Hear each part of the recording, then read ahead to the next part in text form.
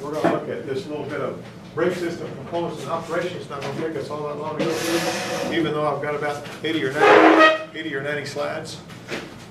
You're you're flying your brake, you got really good fulcrum up here, you notice all the leverage you got.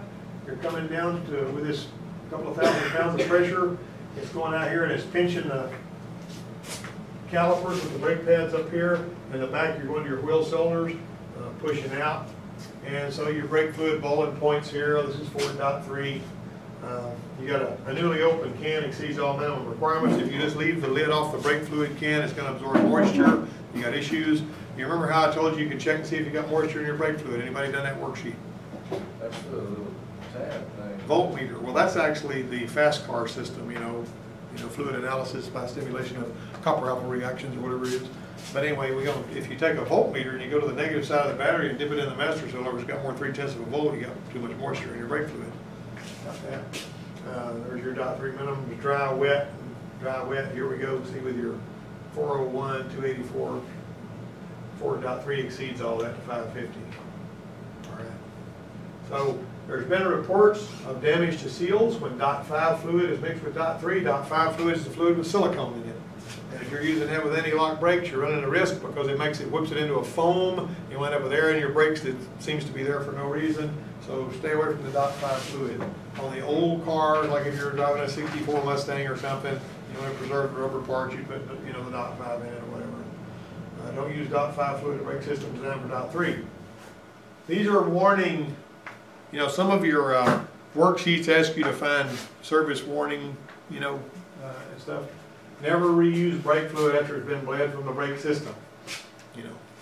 Just, they don't want to put contaminants back in there, that's the long and short of that. Now, right here in here, you got your master cylinder. I got some master cylinders you guys can take apart. You notice there's a bolt at the bottom of that where you're gonna take it loose. Right, I mean, you take that loose and I'll let you pull the secondary piston out. You got two pistons in there. Primary piston, secondary piston. This is your reservoir, you got a fluid level sensor right here typically, and you got your, you got a front and rear split, you got a diagonal split. The way you bleed the brakes is gonna be tied to what you got. Now, if you go to the shop manual and you read it, it tells you to bleed left rear, I mean, uh, right rear, left front, and then vice versa. You'll know you need to do it that way, because if you don't, you won't ever get all the air out, like on Gene's Frontier. After he had body work done, the, the brake pedal never felt right until we actually got it in here and we felt I mean, we followed the shop manual procedure for bleeding it. All right, now this right here, if you get down and dirty with this, you got a compensating port up here that provides fluid to this pressure chamber. All right, whenever you move your, when this piston comes forward, uh, you basically are going to be, uh, you know, the fluid is going to be fluid. There's actually two sets of cups here, uh, but you're only seeing one of them here. When the brakes are released, you see how these, this rolls forward and lets the fluid go past it and all that? But whenever it's trapped, after it uh, gets past this port right here, uh, see, whenever you let this back, fluid's able to go into this pressure chamber and all that. But you gotta cover up the compensating port before you start providing pressure. Uh, Be careful about understanding that. You're not really, you're gonna use that to fix any brakes, you just kinda need to know what's in there. Uh, You got your rotor disc, you got a brake drum, not a big deal make doggone sure, and I talk about this all the time, some of your calipers are floating on these little uh, polished pins.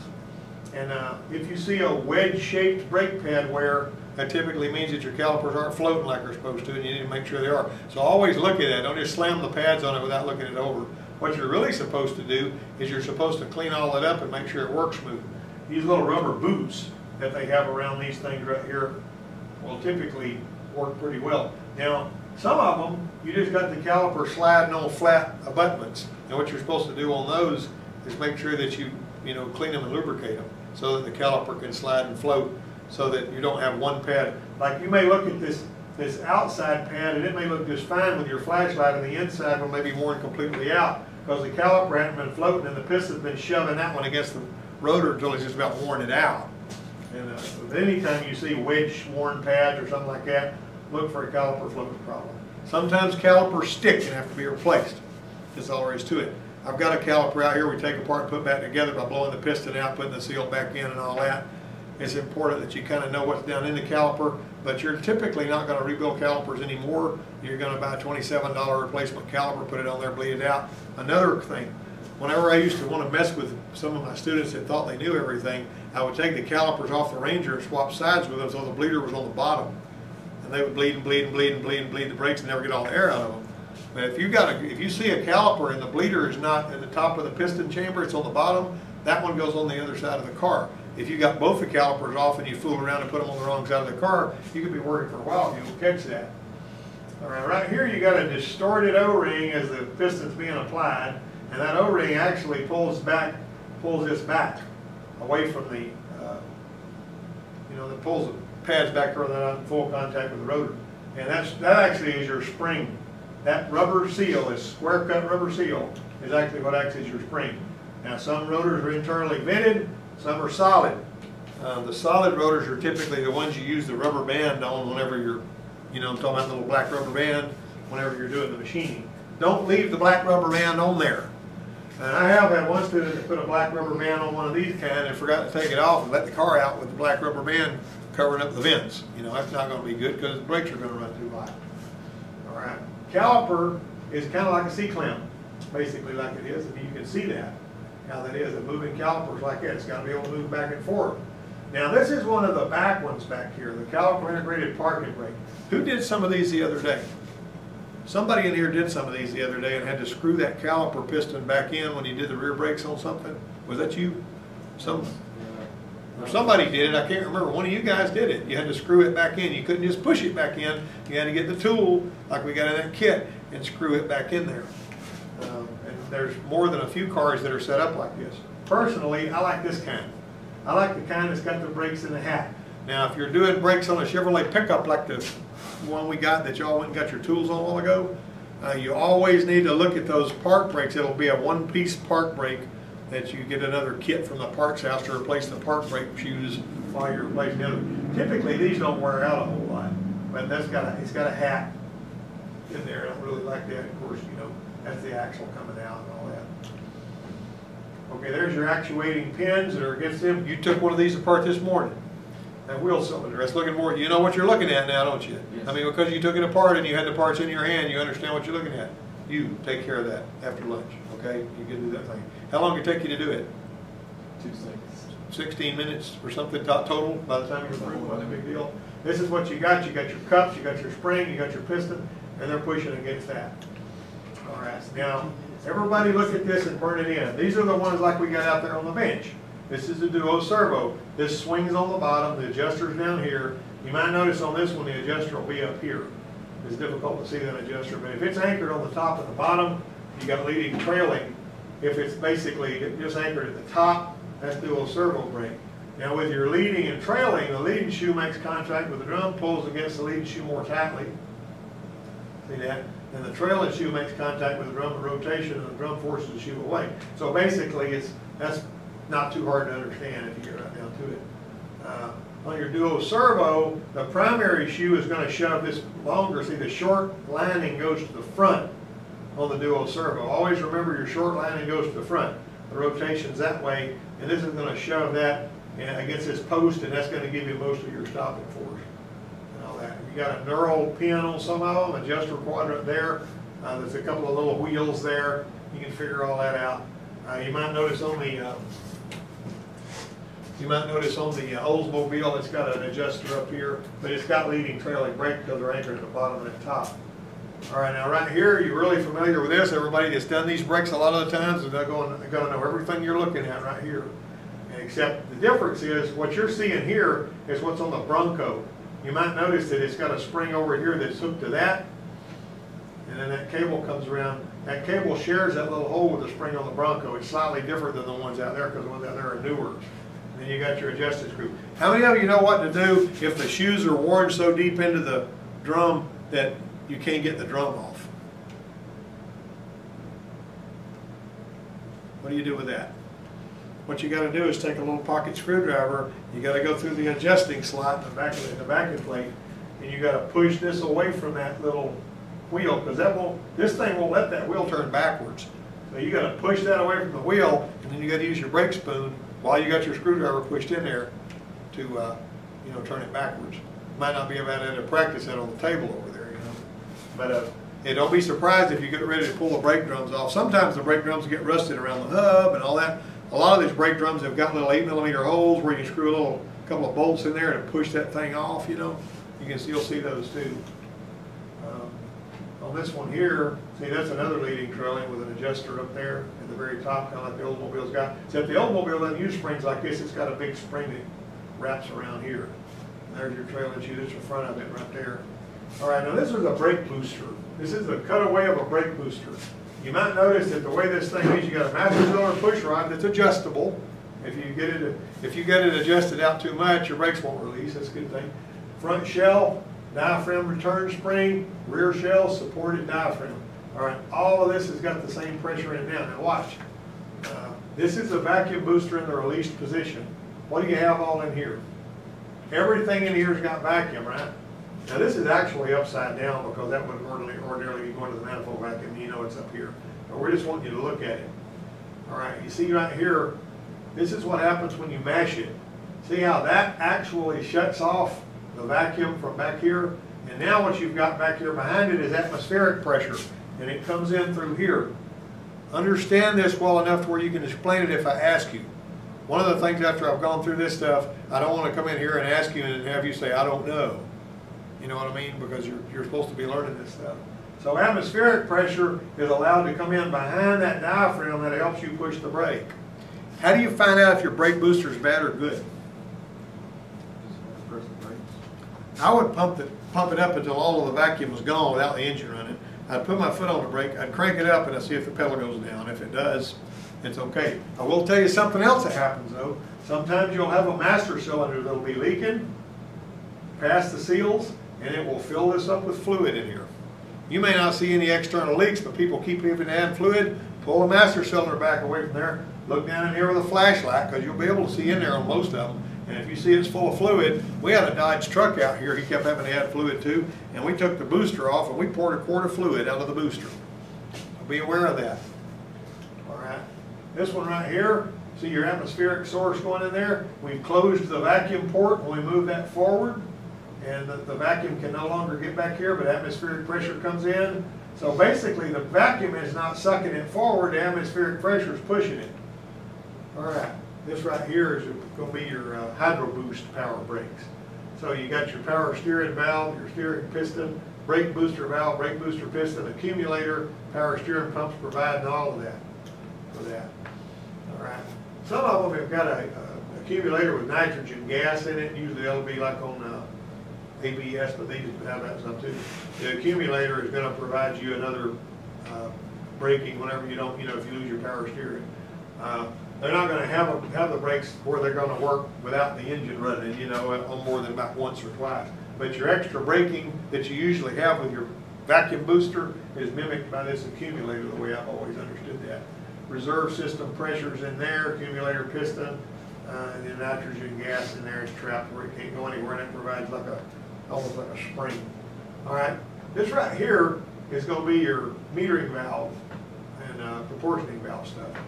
Now, what we wanna talk about here, metering valve that equalizes hydraulic pressure on vehicles that use front disc and rear drum brakes. What we wanna do with our metering valve is before we've applied the front brakes, we wanna let the shoes come out and start touching the drums and they just very gently begin to stop a little bit. That gives you more stability, right? As your rear brakes begin to stop, you don't want the rear brakes locking up before the front ones come into play. That's what the proportioning valve's about. It regulates brake force on the rear brake system. This one lets the rear brakes take up their slack and begin to stop, but it ain't gonna let them go very far because the proportioning valve's gonna prevent it from locking the rear wheels. What was I talking about the other day? You're going around a curve, in a slide, you hit the brake because a deer runs across the road if it's raining, and if the rear brakes lock up, you're going into a spin, right? So we're trying to prevent that. We want most of the braking to be done in the front, because that's where all the weight is anyway. All right, and that's basically just giving you some verbiage of what I was talking about here. The rear brakes, uh, after the rear brakes have begun to apply pressure is limited to the rear so the front can do most of the stopping. The proportioning valves on cars like that Oldsmobile have got little small thimble looking proportioning valves that are in line with the rear brakes. Right, you guys don't zone out on me now, because you're gonna need to remember this stuff. Proportioning valve and a metering valve are typically made together on a lot of them. Remember now, you're not gonna have a metering valve if you've got disc brakes on the front and the rear. You understand that? Now, ever, how many of you have ever seen one of these? And what would be the purpose of it? Mister, looking at my phone, what are you doing, sending a text or something? Right there.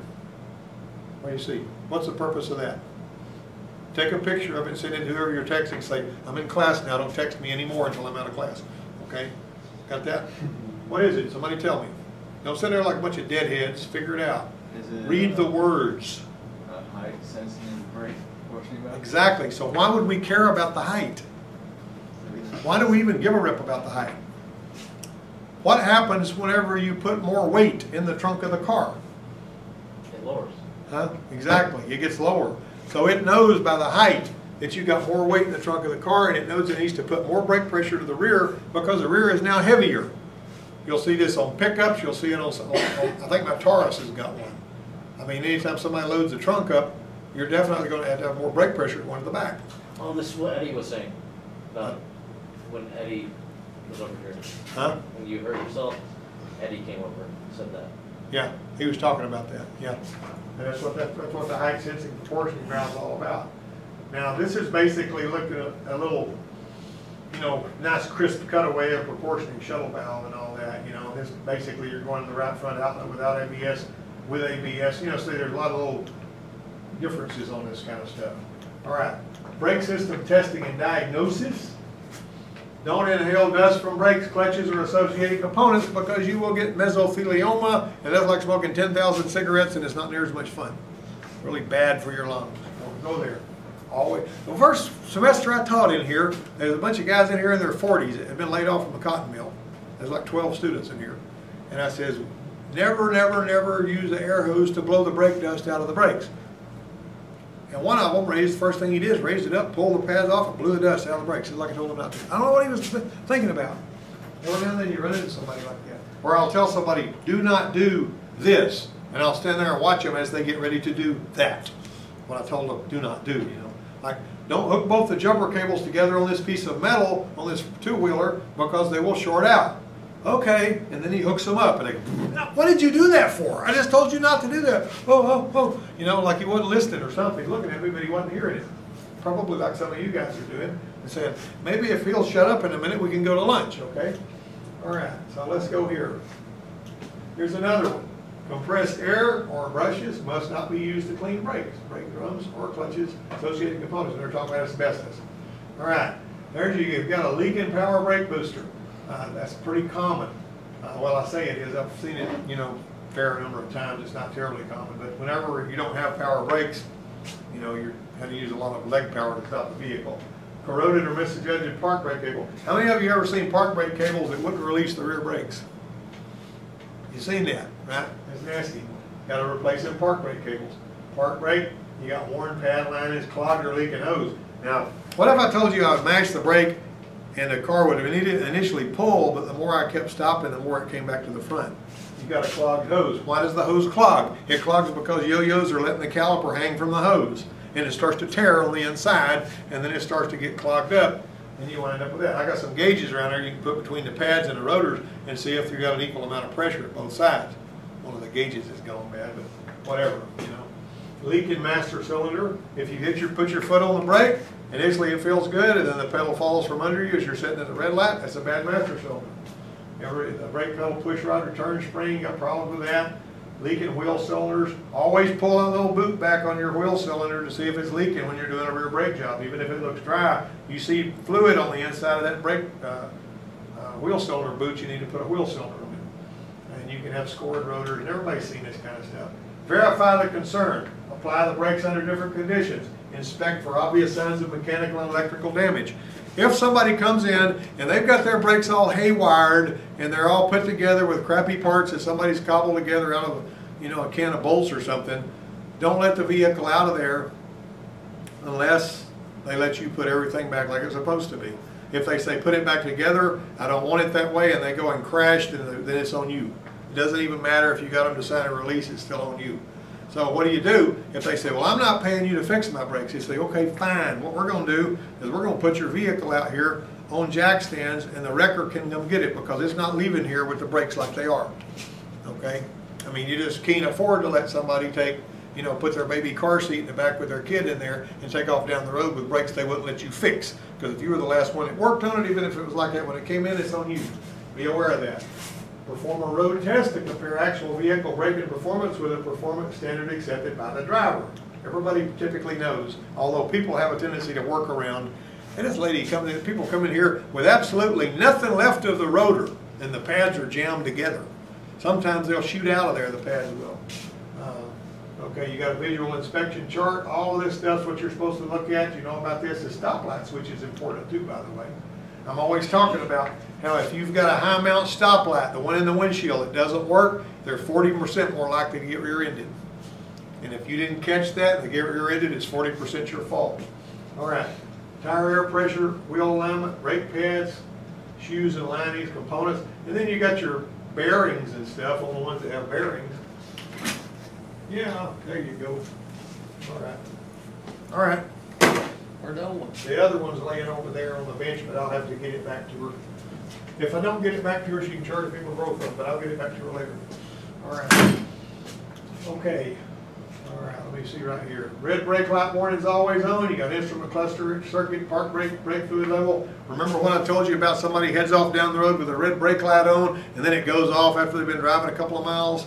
Typically low on brake fluid.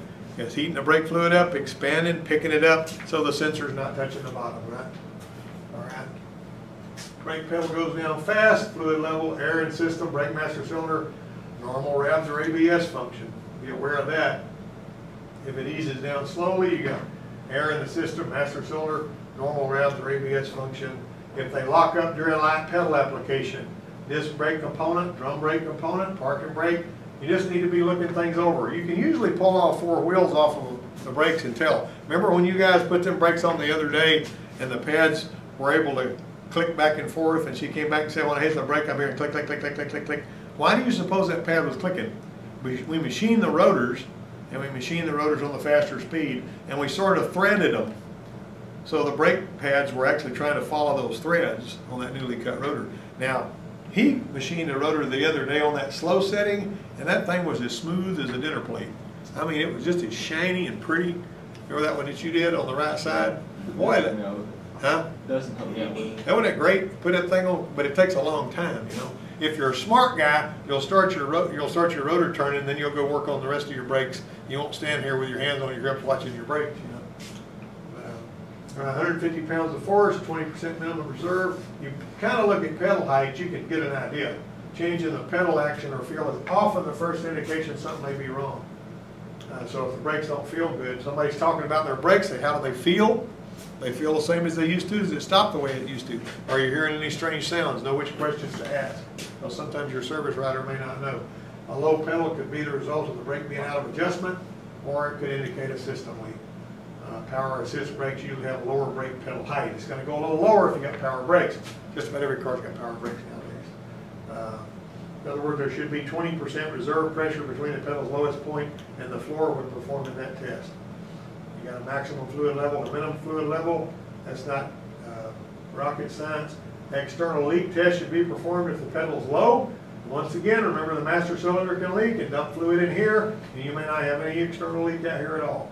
However, if you take your drum off and it's all greasy and wet, uh, then you may have either axle seal if it's a rear wheel drive, or you may have, and how do you tell the difference? How do you know? How do you know if it's brake fluid or if it's uh, axle grease? You know,